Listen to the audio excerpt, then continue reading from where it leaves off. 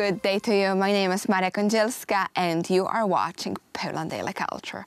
We just celebrated Easter here in Poland. And what are doing Chinese in the same moment?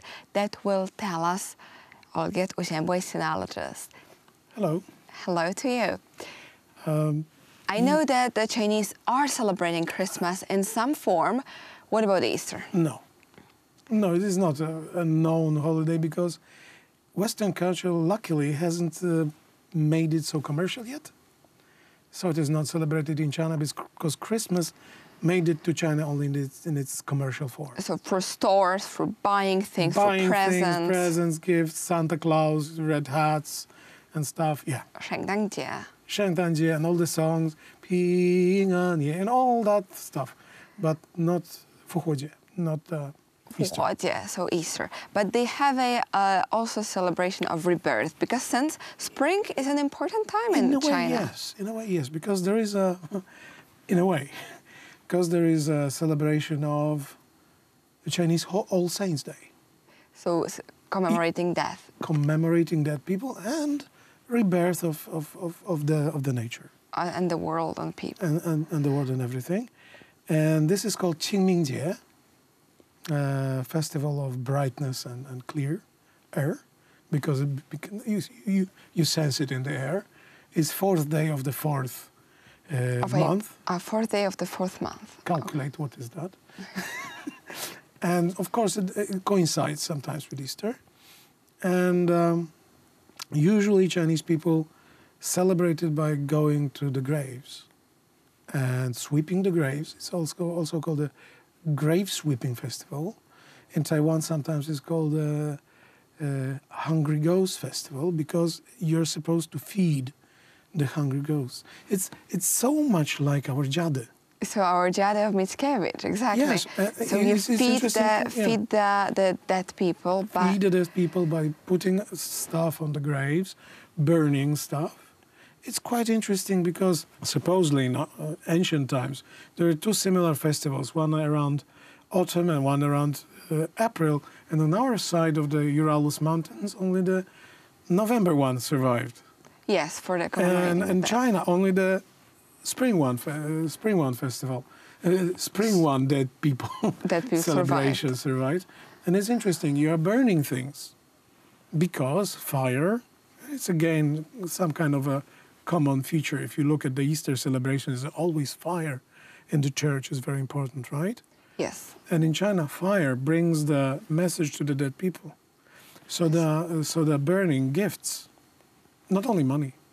It's like thousands of paper money are burned, but paper houses, paper, paper houses, cars, and in good old times when the passport was difficult to get, paper passports. Oh, so they can travel to that one. Yes. Very nice. There's all the things that are connected. And it's interesting because you, if you look, I actually thought that one of our museums was planning on to have a, having a display, a big display of those of those materials because this is everything that is connected to status is being burned so that dead people can have it.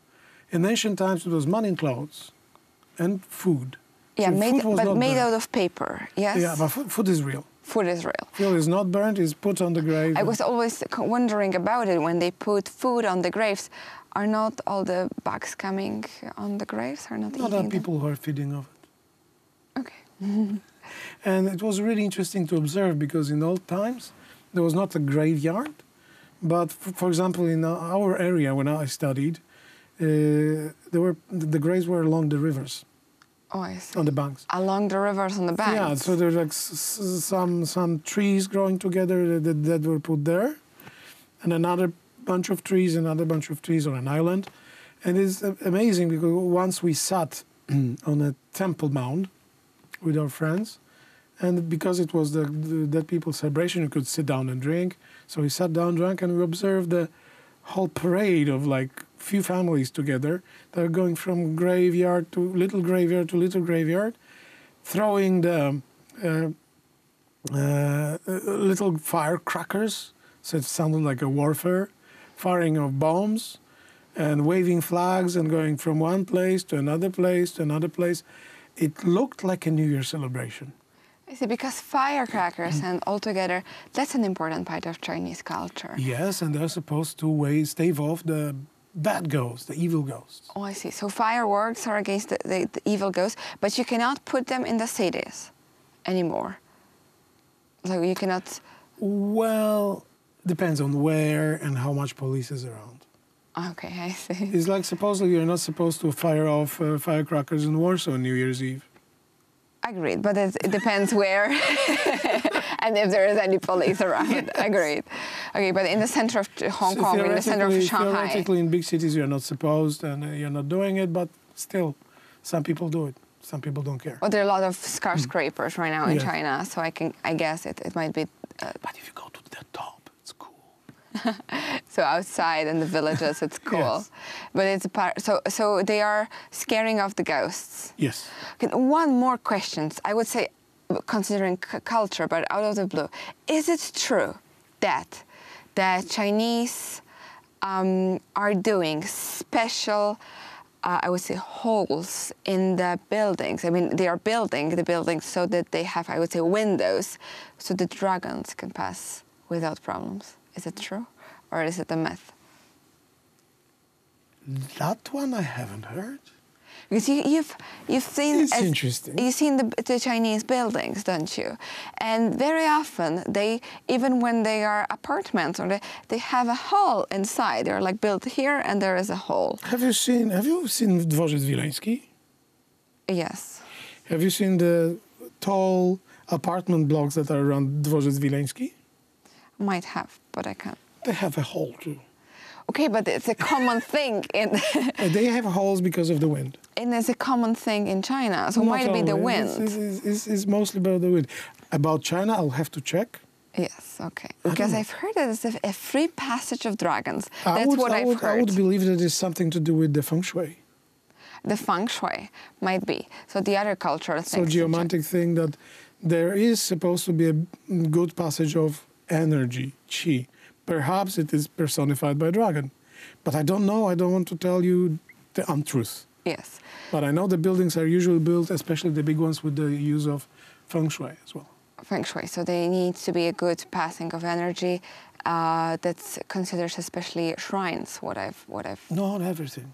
Everything. Every building. So the passage of water as well. Water, air, energy, uh, concerning the mountain and uh, and the ri- river. So Well, uh, I would say with good uh, energy and with uh, good feng shui, uh, then the, the dragon can pass also easily. So I, I guess so. I don't know about this. It's really interesting. well, You always the, learn. the dragon tour was beautiful, and it's a fact that they exist uh, in Chinese cultures that's even even more scary or even more interesting. No, the dragons in Chinese culture is yet another topic that we have to once touch. I agreed, but here we full, make a full stop. So when we in Europe or in the Western world, especially in Poland, celebrate Easter, so also rebirth of life in the form of Jesus Christ, of course, uh, the Chinese are commemorating uh, the, reform of all saints, so commemorating the dead and going to graves. They, I would say it always combines together since the common topic is spring and the the new life which comes with spring. They have something together, and I hope it was also interesting for you. And thank you very much for being with us.